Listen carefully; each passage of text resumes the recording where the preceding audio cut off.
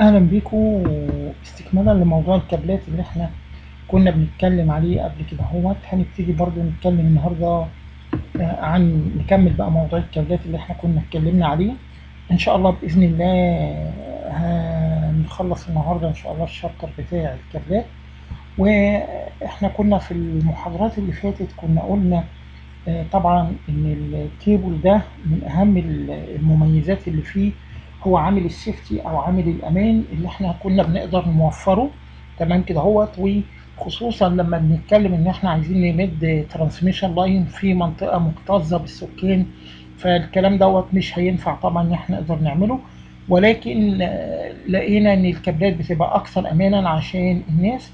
وطبعا كنا اتكلمنا على آه، العوامل الاقتصادية والفنية اللي داخلة في الموضوع زي تكلفة الموصل وتكلفة العازل وكنا برضو اتكلمنا أيضا كلنا عارفين إن أي حاجة زي كده مثلا برضو بيبقى فيه تكلفة برضو حتى في التركيب نفسه بيبقى فيه تكلفة تمام؟ فكنا اتكلمنا على الكلام دوت تمام كده هو؟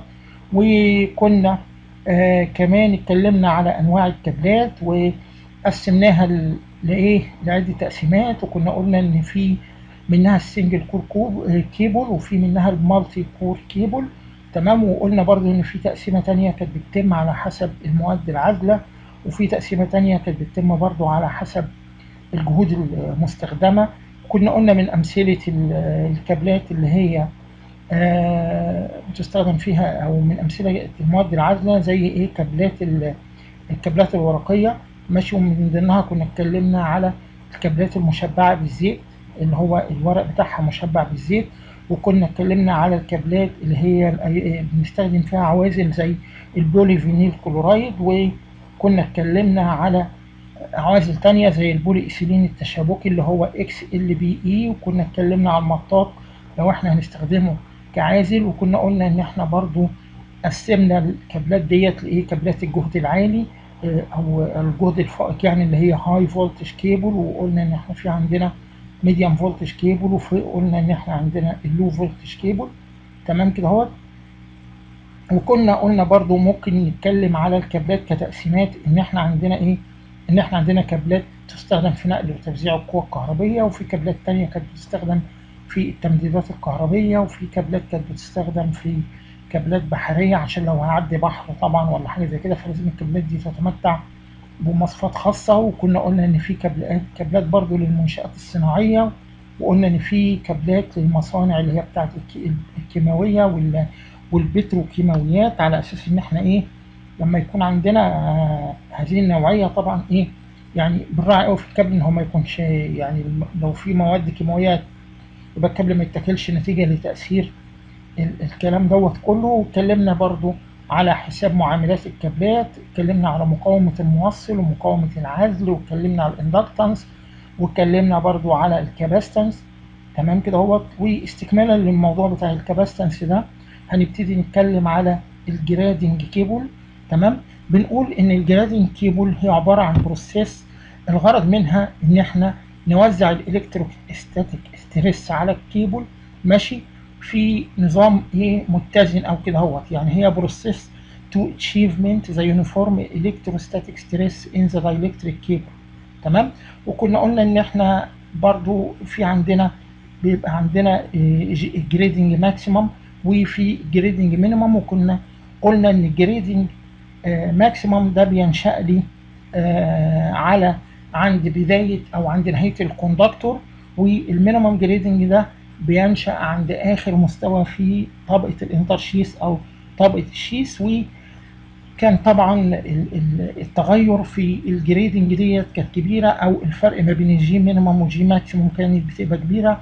عشان كده إحنا إيه عايزين نتغلب على هذه المشكلة أو هذه الظاهرة. لما نحب نتغلب على هذه الظاهرة هنتغلب من خلال إيه؟ هنتغلب من خلال إما إن إحنا نعمل capacitance grading أو intersheathing grading ماشي؟ طيب تعال نبص بقى ونشوف القصة ديت مع بعض تبقى عاملة إزاي ال capacitance grading هو إن إحنا على طول هنعمل إيه؟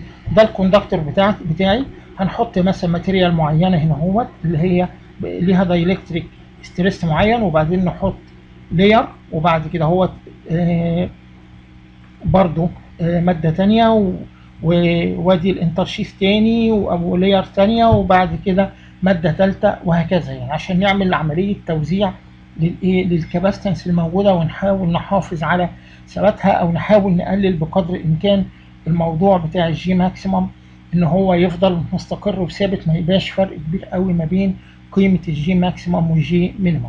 فإذا ال capacitance grading لو إحنا حبينا نعرفه بنقول إنها عبارة عن process of achieving uniform direct dielectric stress by using uh, layer of different dielectric material ماشي اللي هي إيه اللي هي ال dielectric material اللي إحنا بنحطها اللي هي ليها dielectric بريمابيليتي أو آه اللي هي الدايلكتريك إبسلون 1 للاليمنت الأولاني الاليمنت الثاني اللي إحنا حطيناه ده ليه دايلكتريك 2 إبسلون 2 وهكذا.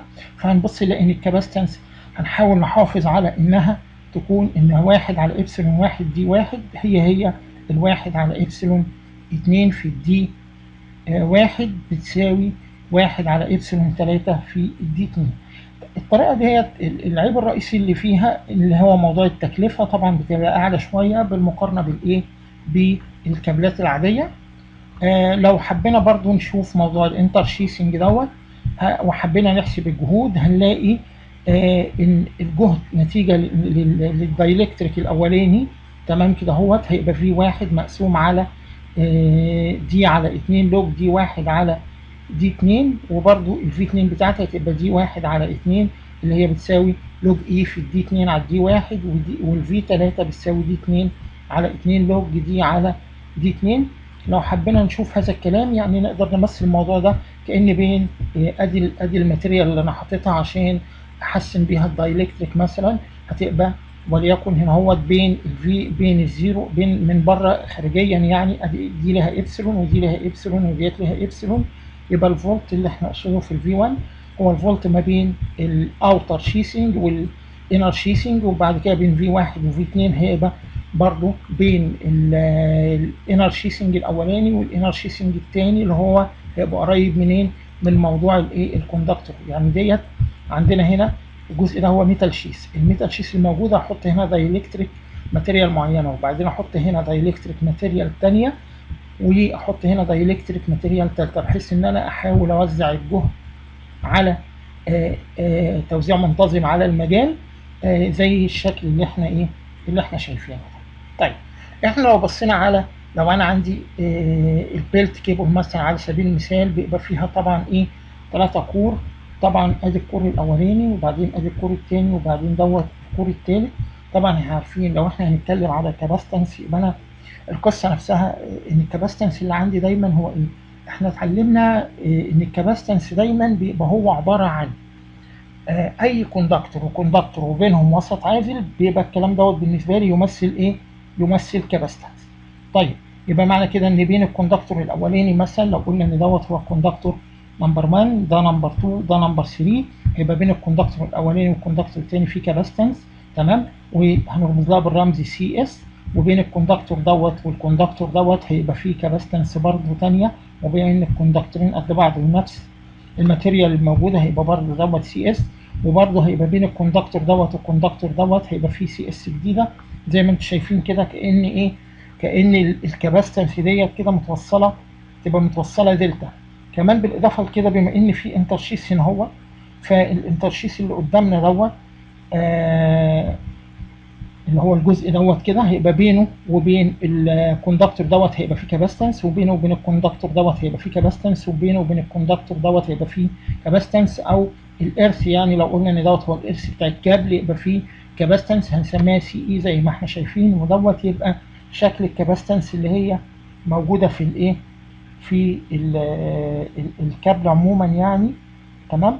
فطبعا أنتوا عارفين إن إحنا إيه نقدر بسهولة قوي نحول آه عشان نجيب ال equivalent capacitance نقدر نحول الدلتا ديت نقدر نحولها ل star وطبعا كلنا عارفين قوانين التحويل اللي هي لما أحب أحول آه يكون عندي دلتا وكلهم قد بعض يبقى على طول ال equivalent بتاعتهم في كل واحدة star هتبقى قدها كم مرة؟ قدها ثلاث مرات. يعني معنى بمعنى كده إن أنا ممكن أستبدل الدلتا ديت ب آه كابل ب capacitance متوصله star هتبقى بينها وبين كأنها بينها وبين ال neutral كده هيبقى هنا في سي اس والسي اس هتبقى كام؟ هتبقى 3 C S كده في 3 C S بين ال neutral والجزء ده و3 C S بين ال neutral والجزء ده هو آه 3 C C وادي الايه وادي ال sheath اهوت هيبقى عندنا connected معاها in إيه؟ in شير in series طيب في مسألة هنا بيقول لنا إيه إن إحنا عندنا single core cable ال single core cable دوت الفولت المسلط عليه 66 كيلو فولت. آه بيشتغل على 3 phase system وال diameter بتاعت ال conductor بتاعته ب 2 سم وال sheath inside اللي هو جوه برضو بيبقى ال diameter بتاعته ب 5.3 من عشرة. بيقول لنا لو استخدمنا two intersheaths are introduced such as the way that the stress varies between the maximum and the minimum in the three layer. ماشي عشان إيه؟ نستخدم intersheaths عشان نحسن العلاقة اللي بتربط ما بين ال maximum وال minimum value بتاعت gradient وكده أو بتاعت ال stress يعني. فبيقول لي find the position of intersheaths إحنا عايزين نجيب ال position بتاع ال intersheath هنحطه فين. يعني هو في الطبيعي إن أنا طبعا بيبقى عندي ال conductor وبعدين مادة عازلة وبعدين intersheath لا هو هيحط كمان intersheath في النص. فهو بيسألني وبيقول لي يا ترى أحط ال intersheath في انه مكان بالظبط؟ تمام؟ تاني حاجة بيقول لي ال voltage اللي هيبقى على ال intersheath ده هيبقى قد إيه؟ كل كل intersheath من من ال intersheaths الموجوده عايزين نحسب الجهد بتاعه. بالإضافة لكده بيقول لي كمان نتيجة إن إحنا استخدمنا ال two intersheaths دول. يا ترى ال maximum stress وال minimum stress اللي هو ال maximum gradient وال minimum gradient هيبقى مقداره قد إيه؟ طيب.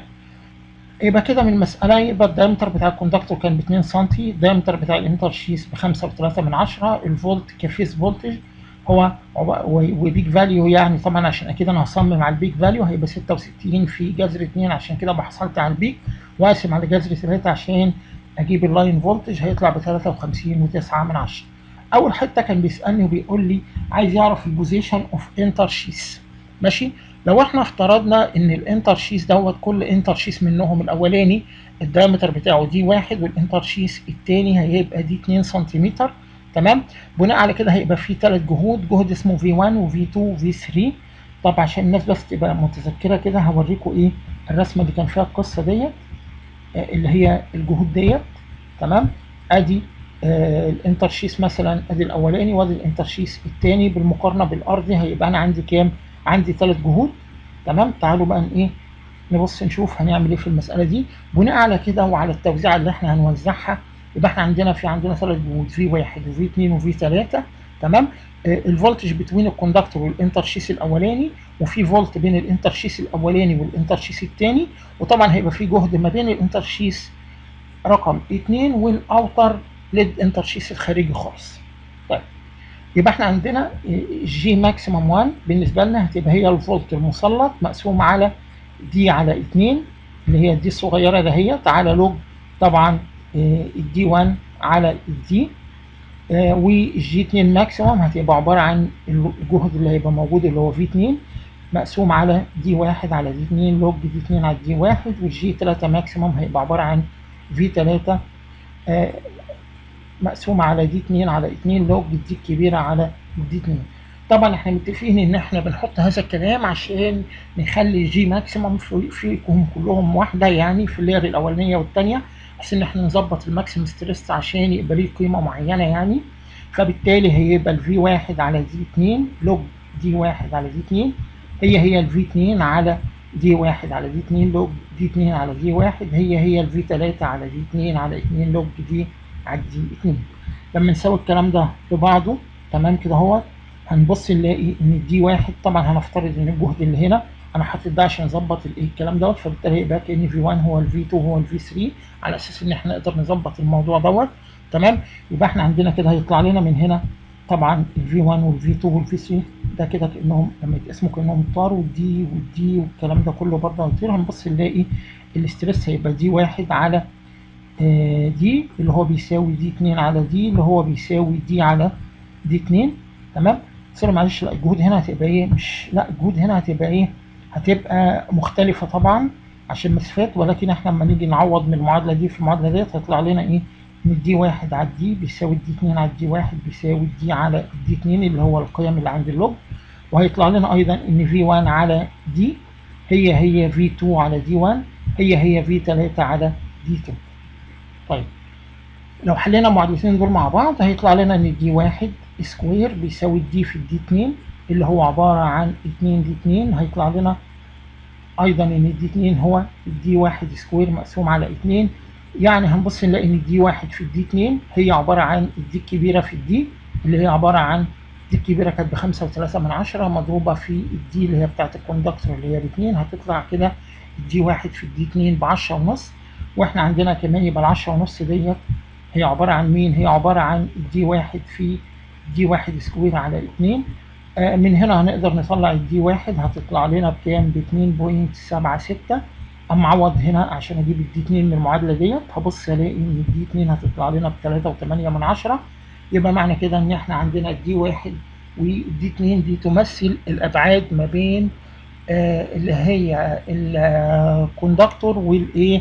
وال intersheathing فمعنى كده إن إحنا عندنا ال intersheathing الأولاني هيبقى ال diameter بتاعه ب 2.76 وال intersheathing الثاني هيبقى ال diameter بتاعه 3.8 من 10 طيب ال voltage بقى على ال intersheath هو مجموع الجهود اللي هو V1 زائد V2 زائد V3 يبقى 5 35 و9 من 10 اللي هي ال phase voltage هتساوي V1 زائد D1 على D2 في ال V1 زائد D2 على D في ال V1 لو خدنا ال V1 ده common هنبص نلاقي إن ال V1 هيطلع 4 و82 4 و82 مضروب في ال V1 يبقى اذا ال V الكلية هتبقى 53 و9 من 10 اتقسمت على 4 و2 و28 من 100 هتطلع ال V1 ب 12 و6 من 10 كيلو فولت لو جينا نستخدم نفس الكلام بالنسبة لل V2 هنلاقي إن ال V2 هي ال D1 على ال D مضروبة في ال V اللي هي عبارة عن 2.076 على 2 في 12 و6 من 10 هيطلع لنا الكلام ده ب 17.39 كيلو فولت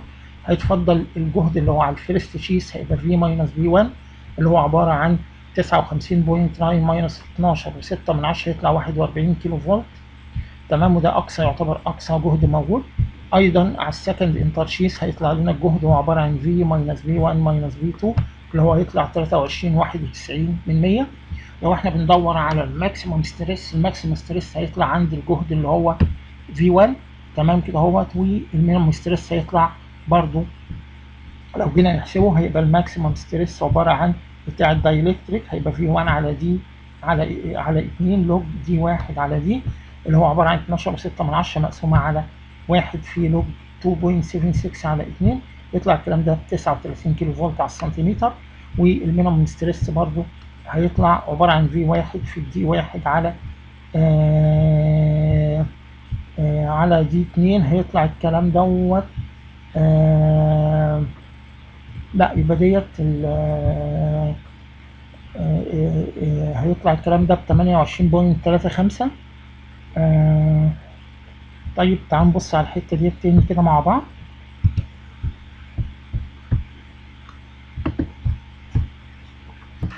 يبقى زي ما إحنا شايفين كده هتبقى ال intersheath grading بالنسبة للجهد اللي هيشيله ال minimum stress بالنسبة لي هتبقى طبعا هي ال V1 مقسومة على 2 log D1 على D لما نعوض الكلام ده هيبقى 12.6 من 10 على آه 1.38 log 2.76 على 2 فيطلع الجهد اللي هنا 28 و35 من 100 آه طيب آه يبقى إذا زي ما إحنا اتفقنا إن إحنا عندنا آدي ال capacitance cable وطريقة تمثيلها. كان كنا شفناها في ال slide اللي, اللي فاتت. وطبعا ديت الحتة اللي إحنا كنا بنتكلم عليها إن إحنا عندنا آدي الايه آدي ال capacitance بين ال conductor وبعضها وآدي الثلاثه Cs ديت اللي هي ال equivalent بتاعهم. لو إحنا حولناهم لإيه؟ لموضوع ال star اللي إحنا كنا بنتكلم عليه. طب في مسألة ثانية كمان ممكن نشوفها مع بعض برضو اللي هي بتتكلم على إن إحنا لو عايزين نحسب التيار بتاع ال intersheathing أو التيار اللي هيمر بتاع ال discharge بتاع ال intersheathing مثلا هيبقى عامل إزاي؟ عندنا ال CN هتبقى عبارة عن CE زائد ال C equivalent ال CE ديت ال C بتاعت ال earth يعني ال capacitance بين ال conductor وال earth plus 3 C S C C اللي هي بين ال conductor وبعضه اللي هي عبارة عن ال C C ديت اللي هي الثلاثه بتاعت الجزء ده وأوعى تنسى كمان إن كان في هنا عندنا capacitance بين ال conductor وال earth يعني لو رجعنا كده اللي هو الجزء دوت تمام كده اهوت يبقى إذا ال equivalent بتاعتهم هي عبارة عن C N هتبقى عبارة عن C E زائد 3 C C يبقى تيار ال charging بتاعي على أساس إن أنا عندي capacitance وموجود عليه جهد. فهذا ال capacitor طبعا هيبقى فيه تيار شحن يبقى ال V phase بتاعته هتبقى التيار I C هيبقى V phase على ال X ال X reactance وكلنا عارفين ال X C هي عبارة عن 1 على 2 pi F C.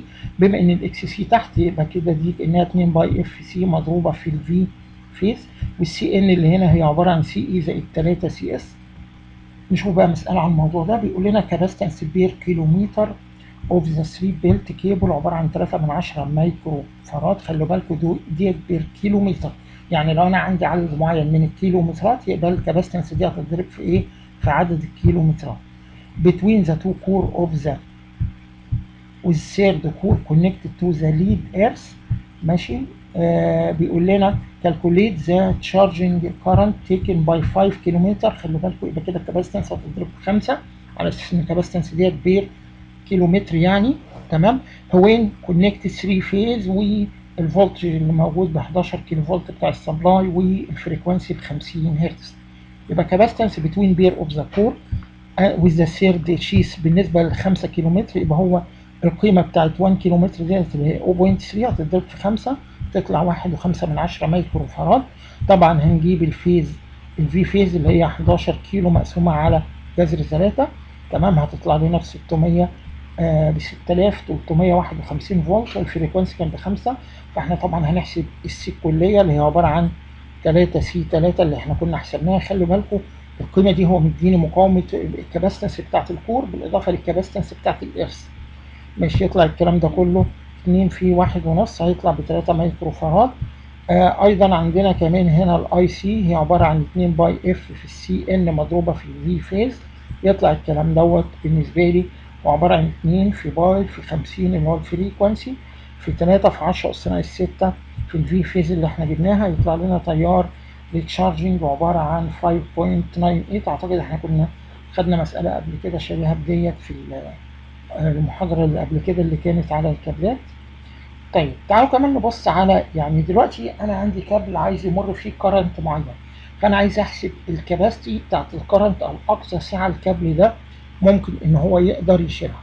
طبعا عشان نحسب أقصى سعه يبقى خلوا بالكم يبقى أنا معروف إن التيار دايما هو عبارة عن ليه تأثير إيه؟ ليه تأثير حراري.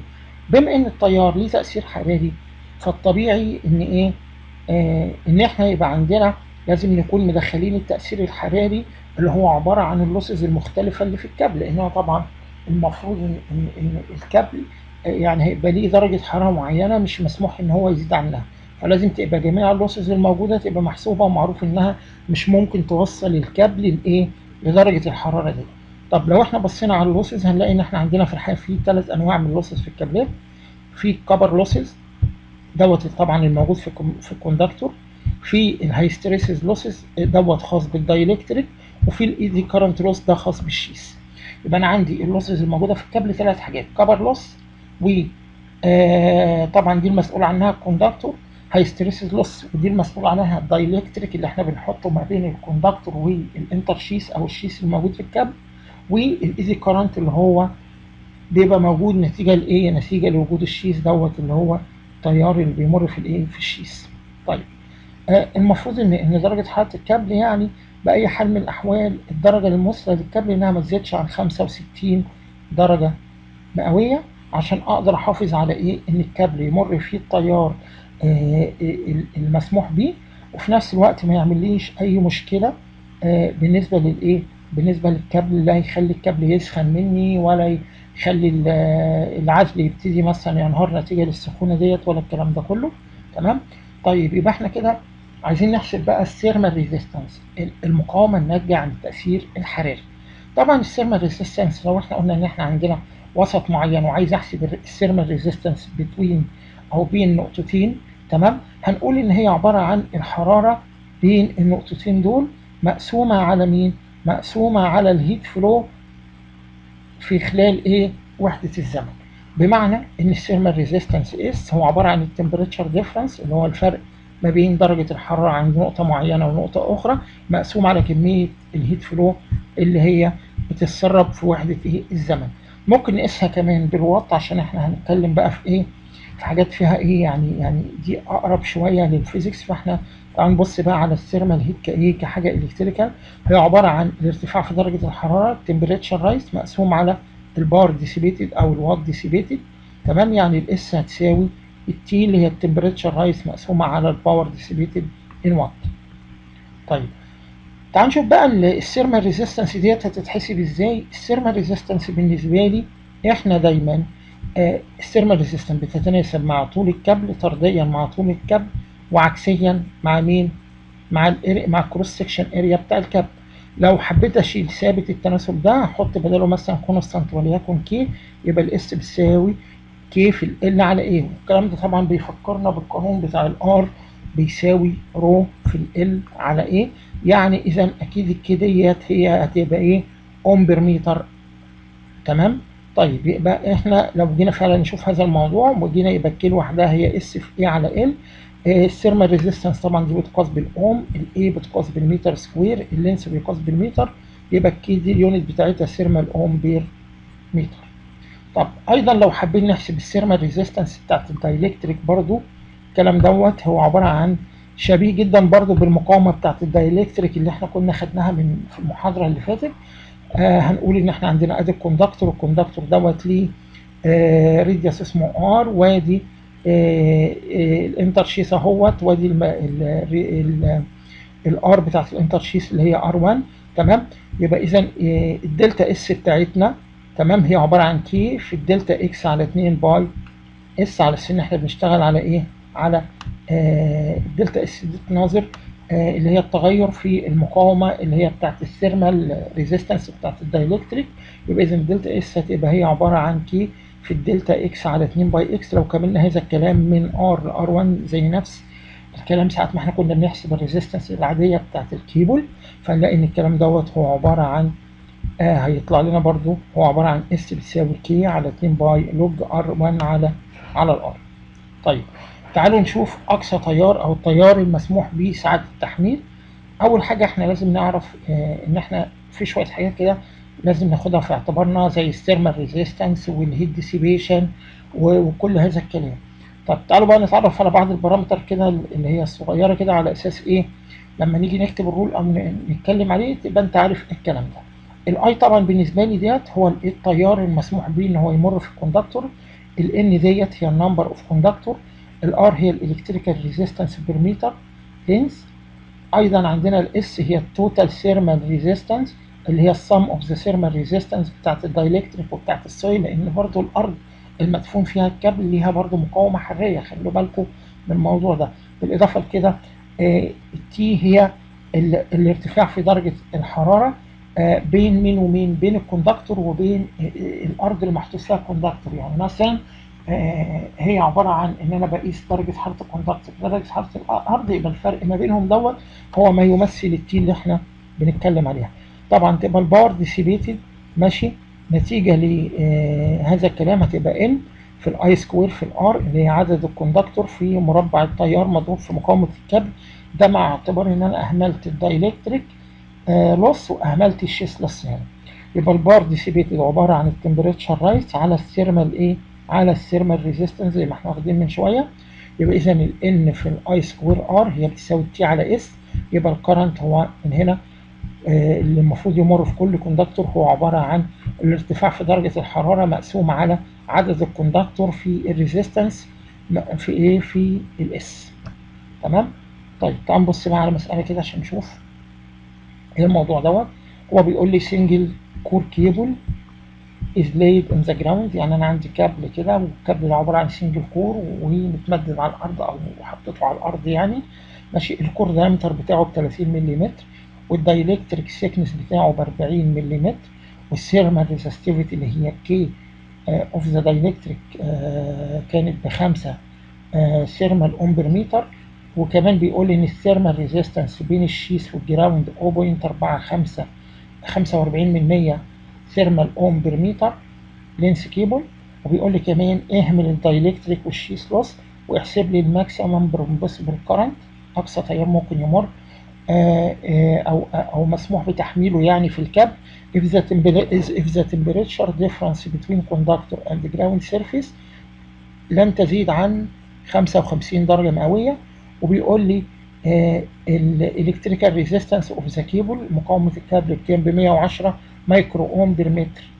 طيب إحنا عندنا إيه؟ لو جينا نحسب ال thermal resistance بتاعت ال dielectric cable كلنا عارفين ال rule من شوية إحنا قايلينه.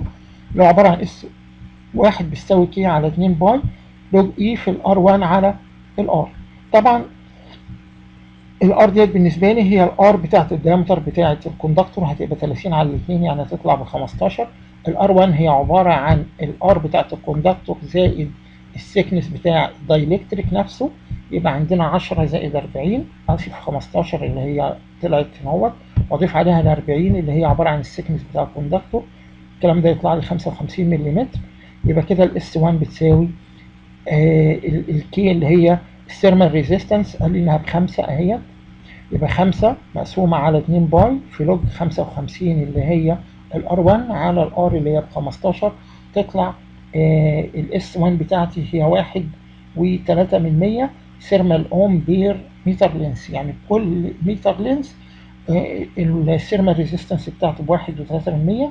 وهو قال لي كمان إن ال thermal resistance بتاعت ال soil 45 من 100 ودول طبعا يعتبروا كأنهم connected in series يبقى ال total thermal resistance هتبقى S 1 زائد S 2 يبقى 1 و3 من 100 زائد 45 من 100 هتساوي 1 و84 من 100 متر per إيه per length يبقى إحنا كده حسبنا آه ال S بتاعتي وال R كان هو مديهاني ب 110 تمام؟ في 10 أس 6 أوم.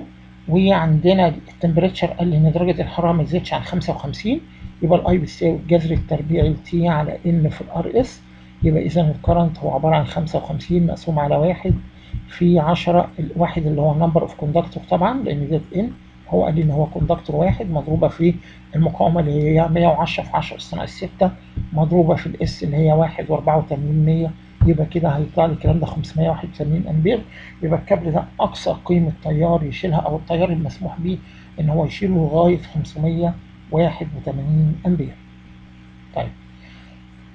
لو جينا نتكلم بقى على إيه؟ على ال cable faults. طبعا إحنا عندنا في الحقيقة لو حبينا نحصر الحاجات اللي هي الأشياء اللي ممكن تؤدي إلى حدوث faults في في في الكابلات. طبعا هي أخطاء كثيره وهيبقى مواضيعها كثيره فمثلا على سبيل المثال في طبعا بعض ال faults ممكن تحصل نتيجة لإيه؟ إن ال conductor حصل فيه مشكلة. تمام؟ وبعض ال faults التانية ممكن تحصل نتيجة إن حصل مثلا أي مشكلة في ال insulation. وفي بعض أنواع faults تانية ممكن تحصل نتيجة لل sheath ممكن يكون حصل فيه مشكلة. آه وبرضه ممكن بعض الحاجات تحصل نتيجة ل آه اللي هي آه الناس وهي بترمي الكابل مثلا ممكن تكون حطته في أرض معينة ومش دوت الكابل المناسب فتبتدي تحصل بعض التأكلات في الكابل فدوت هيؤدي للايه لبعض المشاكل. يعني اذا إحنا ممكن لما نيجي نتكلم على ال ال الأخطاء اللي ممكن تحصل في الموصل أول حاجة ان ممكن يحصل عندنا open circuit fault طبعا ال open circuit fault ده ممكن مثلا يحدث نتيجة لإيه؟ نتيجة للخطأ. مثلا في ناس بتحفر ولا حاجة فإيه؟ فنتيجة للحفر ده الكابل يروح إيه؟ ما يكونش مثلا الناس واخدين بالهم إن في كابل تحت كلام زي كده. فيلاقوا إيه؟ يلاقوا إن الكابل حصل فيه مشكلة ويكون الكابل إيه؟ يتقطع ولا حاجة زي كده هو طيب في برضه بعض الحاجات التانية اللي ممكن تحصل نتيجة لحدوث short circuit طبعا في الكابل هذا ال short circuit اللي موجود في الكابل ده ممكن برضه يحصل نتيجة لإيه؟ نتيجة ان مثلا لحشرات لزواحف لكلام زي كده هو يعني إحنا لو بصينا مثلا على ال open circuit fault يبقى إحنا بنقول ممكن مثلا يحصل نتيجة لإيه؟ نتيجة لاعمال حفر أو كده هو لو أنا عايز أشوف هل حصل ده open ولا مش open لو جبت Megger وجيت أقيس المقاومة بينه وبين إيه؟ بينه وبين البداية والنهاية مثلا أو الأجزاء ديت بتاعت الكيبل هبص ألاقي إن ممكن أستخدم Megger فهبص ألاقي ال Megger هيديني آه طبعا ما لا نهاية فبالتالي كده يبقى أنا حددت نوع ال fault بتاعي إن هو عبارة عن إيه؟ عبارة عن open circuit لأن لما جيت أقيس بال Megger لقيت إن الكابل ذات نفسه في آه يعني ال Megger نفسه اسمها لا فمعنى كده إن في فتح في الدايرة. لو جينا نتكلم مثلا على حاجة زي ال short circuit اللي إحنا كنا بنتكلم عليها ديت نتيجة للزواحف لما أجي مثلا أقيس برضو بال Megger هبص ألاقي إن المقاومة هتديني صفر لأن الكابل نفسه بقى حتة سلكة. بالإضافة لكده لو إحنا بنتكلم إن إحنا عندنا earth fault مثلا على سبيل المثال ممكن يبقى برضو إيه لما أجي أقيس العزل ما بين ال earth أو أو ال sheath بتاع الكابل وال- وال- وال conductor نفسه هل هيديني طبعا برضو آه، zero ال Megger هيديني zero. في برضو قلنا بعض أخطاء تانية في الحقيقة دي مش كل الأخطاء اللي ممكن تحصل أو مش كل الأعطال يعني اللي ممكن تحصل للكابل أو ال faults يعني. ممكن بعض ال faults تحصل نتيجة لإيه؟ حصل لي انهيار أو breakdown للإيه؟ آه للمادة العازله تمام؟ آه ده طبعا ممكن يكون نتيجة إن إحنا إيه مثلا يكون آه حصل آه لتشغيل مثلا الكابل ده يعني حطيته على جهد مش مناسب للجهد اللي هو فيه أو مثلا يكون في أي تفريغ كهربي حصل مثلا أدى المشكلة زي كده. هو ماشي. ممكن برضو يحصل نتيجة إن في failure في العزل نتيجة برضو لل ionization تمام؟ آه نظرا لأن مثلا يعني مثلا في نوعية معينة من نوعيات الكابلات زي ال- الكابلات اللي هي الكابلات الزيتية دي ممكن يحصل هذا النوع من ال- ال- الانهيارات. برضو ممكن يحصل العزل ينهار نتيجة مثلا الكابل سخن فالكابل لما يسخن طبعا يبقى مقاومة العزل هتقل وده هيؤدي خلاص إن إيه إن الكابل هيبتدي ينهار.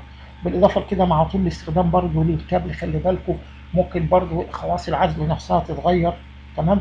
ممكن برضو زي ما إحنا بنقول مثلا لو اتكلمنا على آه، على ال sheath أو ال earth ممكن يكون الكابل ذات نفسه مثلا أثناء عملية النقل أو أثناء عملية المد وكلام زي كده. هو تعرض ل- لأكتر من مرة إن الكابل اتنى أكتر من مرات عديدة ده أثر عليه فبالتالي هيسبب شروخ في الكابل. هذه الشروخ ممكن تؤدي برضو لمشاكل.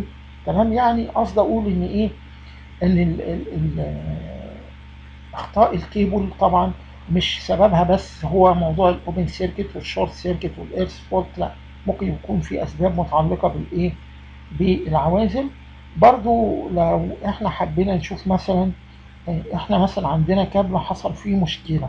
طب يا ترى الكابل اللي حصل فيه مشكلة هنعالج المشكلة إزاي؟ أو نحدد مكان القطع اللي حصل في الكابل إزاي؟ لو إحنا شفنا هنلاقي إن في طريقتين في الحقيقة مشهورين. حاجة اسمها ال Murray loop test وحاجة اسمها ال Varley loop test إحنا هنتكلم على ال Murray loop test كده إيه بسرعة على أساس ده بيبين لك إزاي إن إحنا نقدر نحدد آه، ال fault اللي حصل فين في الكيبل أو مكان القطع اللي حصل في الكيبل أو مكان المشكلة على أساس إن الكابل ده طبعا بيبقى ممدود لإيه؟ لكيلومترات عديدة فإذا لازم يكون في طريقة معينة تخليني أقدر إن أنا أكتشف هذا الموضوع. واللي منكم آه، راح اتدرب في مثلا شركة من شركات الكهرباء هيلاقي لو كان في مشكلة في كابل هو عارف إن في عربية بياخدوها بيبقى فيها ال Murray loop test ديت عشان يقدروا يختبروا الكابل ويعرفوا المشكلة اللي هي موجودة فين في الكابل ده. طيب تعال نبص بصة كده عشان الدنيا تبقى واضحة بالنسبة للايه للكابل دوت هنبص نلاقي ال Murray loop test عاملة كده زي شبيهة كده شوية بحاجة أنتوا واخدينها وعارفينها اللي هو قنطره ويتستون هيبقى في اتنين variable resistance زي ما أنتم شايفين P و Q دول إحنا بنبتدي نغير فيهم لغاية لما نوصل نقطه ال balance. ادي مثلا ادي الكابل اهو تمام كده؟ بنيجي إحنا نوصل بنحط هنا low resistance connection بين اطراف الكابل كده اهو تمام؟ وادي هنا بيبقى في حاجة اسمها sound cable وفي هنا دوت الكابل بتاعنا اللي هو إيه؟ اللي هو فيه المشكلة أصلا. بنبص نلاقي إن المفروض ال P على Q بتساوي ال R على ال X تعالوا نشوف كده ال- لو جينا قلنا هذا الكلام عند ال balance طبعا أنا لما زي ما أنتم شايفين كده لما أنا أقعد أغير في ال P وأغير في Q لغاية لما يحصل balance طبعا كلنا عارفين balance يعني أنا لو قفلت ال key ده إيه اللي هيحصل؟ ده مش هيمر فيه إيه؟ أي تيار ولا مؤشر الجلفانومتر ده هينحرف أصلا. مجرد ما مؤشر الجلفانومتر ده يثبت على زيرو يبقى ساعتها أنا عرفت إن حصل balance فممكن أقدر أحدد طول الكابل طبعا أنا لو معايا rule هقدر أستخدم ال rule غير كده الأجهزة وكل حاجة بتطلع لك الكلام ده وبتقول لك إن العزل إن ال- القطع في الكابل حصل على بعد كذا من النقطه اللي أنت بتختبر من عندها. طيب أصلا آه، عند ال balance إيه اللي هيحصل؟ يبقى ال P على Q بتساوي R على X أو ال P على Q زائد واحد بتساوي الار على إكس زائد إيه؟ زائد واحد. لو ضربنا طرفين فاصلين هنا وطرفين فاصلين هنا يبقى ال P زائد Q على Q بيساوي ال R زائد ال X على X لو خلينا ال R زائد ال X ديت. هي عبارة عن ال resistance بتاعت كل كابل يبقى هتبقى بتساوي 2 R. أما أجي أعوض كده يبقى ال P على Q ال P زائد ال Q على Q بتساوي 2 R على X. يبقى ال X دوت بالنسبة لي هو عبارة عن مين؟ هو عبارة عن المسافة اللي الكابل اتقطع عندها. وديت 2 R ديت هي طول الكابل كله. طب تعال نشوف كده يبقى إيه اللي هيحصل بقى عندنا. يبقى عندنا كده أما نيجي نحسب هذا الكلام يبقى هقدر أحسب على طول الكابل ك length يعني عشان أعرف هو اتقطع فين من عند النقطة اللي أنا بقيس فيها بيساوي قيمة ال resistance بتاعت ال Q على مجموع ال P زائد ال Q كل ده مضروب في الايه في ال length بتاع الكابل. ده هيطلع لي مكان قطع الكابل مقارنة بالحتة اللي أنا إيه اللي أنا موجود فيها. طب ما تيجي نشوف مسألة عشان إيه الدنيا هنا تبقى إيه واضحة شوية. بيقول لي هو Murray loop test is performed on the faulty cable 300 meter long يعني أنا عندي الكابل اللي أنا بشوفه مقطع في أنهي حتة هو ال length بتاعه 300 متر. بيقول لي ال balance of the resistance connected faulty core ماشي؟ ال R بتاعت ال balance اللي حصل عندها ال balance بتبقى 15 اوم وال resistance of the resistance connected to sound مقاومة ال sound اللي هي المقاومة اللي إحنا كنا شايفينها في في الرسمة اسمها 45 بقيمتها هو 45 اوم وعايز يحسب ال calculate distance of the fault of the fault point from the test end من نهاية ال test أو من عند ال test يعني. طب تعال نشوف بس فين ال Q فين ال P كده بس عشان إيه الدنيا تبقى واضحة. الناس تبقى عارفة. أدي ال P تمام؟ تمام وأدي إيه؟ وأدي ال Q وأدي ال sound cable تمام؟ ده ليه resistance معينة يعني. طب تعالوا بقى نشوف. يبقى إحنا عندنا D هتساوي Q على P زائد Q في ال length بتاع الايه الكابل. Q هو قال لي إنها ب 15 ال P كان قال لي إنها ال sound core cable ديت ب 45 اوم إيه طبعا ده كابل يبقى فيه هو عبارة عن 2 في 300 ب 600 متر عشان ال open loop طبعا. يبقى أنا عندي ال D بتاعتي هي عبارة عن 15 مقسومة على 45 زائد 15 في 600 يطلع لي مسافة المكان قطع الكابل كان على بعد 150 متر من النقطة اللي أنا إيه اللي أنا فيها. آه الكابل طبعا إيه إحنا ضربنا هنا في 2 عشان المسافة رايح جاي بتاعت الكابل وكده أهو. آه هنا إيه يبقى أنت لو جات لك مسألة في هذا الموضوع الدنيا بسيطة خالص. يبقى أنت هتقول مقاومة ال fault مقسومة على مقاومة ال fault زائد مقاومة ال sound. كل ده مضروب في 2 من الطول بتاع ال fault cable يطلع آه الكابل مقطوع بالنسبة لي في انه مكان بالظبط. كده إحنا هنكتفي بهذا الجزء في موضوع الكابلات بقى. هنقف لغاية هنا في موضوع الكابلات. أصلا آه كده يبقى إحنا آه بالنسبة للكابلات عموما استعرضنا آه يعني إيه إيه هي الكابلات؟ استعرضنا إزاي أقدر أمثل كابلات وقلنا إن ال capacitance بتاعت الكابل دي تعتبر أكتر حاجة مميزة للكابل أكتر حاجة آه مؤثرة بالنسبة لي في الكابل وقلنا إن قيمة ال capacitance دايما كانت بتبقى أكبر من قيمة ال inductance وقلنا كمان إن إحنا في عندنا أنواع من ال cables وصنفنا الكيبل طبقا لبعض التصنيفات الكثيرة. صنفناها طبقا مرة مثلا طبقا لنوع ال insulation اللي أنا استخدمه في الكابل. صنفنا الكابل برضه طبقا للجهد اللي أنا هسلطه على الكيبل. اتعرضنا لل لأنواع الكيبل. زي قلنا إحنا برضو قسمنا ال cable ل multi core cable و single core cable. اتعلمنا إزاي نحسب ال resistance بتاعت الكابل وتعلمنا نحسب ال capacitance بتاع الكابل وتعلمنا في ال chapter ده في آخره إزاي لو أنا عندي كابل اتقطع إزاي أقدر أحدد مكان القطع من خلال ال Murray loop. واتكلمنا برضو عن إن إحنا نقدر آه حتة إن إحنا نحسب ال thermal resistance بتاعت الكابل. واتكلمنا على ال dielectric strength وإزاي أحاول أظبط ال stress الموجود على الكابل.